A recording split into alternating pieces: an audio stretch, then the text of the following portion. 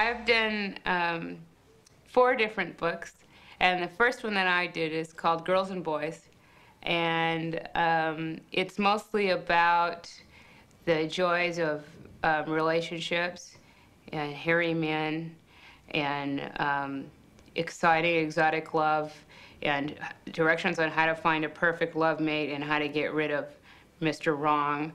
And it's a lot of love information. And um, it was in that book that I established my crude drawing style that has, um, you know, rocketed me into fame. Okay, class, may I have your undivided attention, please? God, her clothes. God, I know. She's the grossest home ec teacher of all. I know.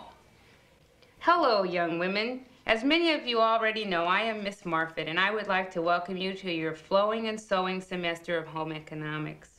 So welcome to the exciting world of womanhood. Some of you are already beginning to notice your bodies beginning to change. In this class, we will learn all, all about these mysterious and wonderful changes, and we will learn about the sewing machine. But to begin, let's start with an informative film strip entitled That Special Day. Lucy, get the lights, please. One day, Tina realized she didn't want to climb trees anymore. Come on, team, let's go climb that tree in Hicks's yard. Gosh, John, I don't feel like it. I want to go buy some tampons instead.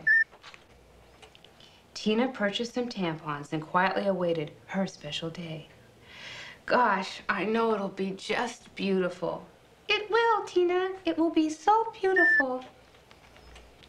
And then one morning, Tina found a beautiful red flower in her underwear. How did this get here? Suddenly, she realized it was that special day. Jane, guess what? I'm a woman. It's so beautiful. It's the happiest day of my life. Now, wasn't that lovely? That's exactly what it's like, too. And now to dramatically demonstrate just how fast our bodies change, I'm going to come to each table and measure your busts. And we'll put the number on that huge chart over there that faces the boys' play field. Psst, Jenny, psst, you got a cigarette? Me and Muffy can split during lunch? Ignore her. Ignore who?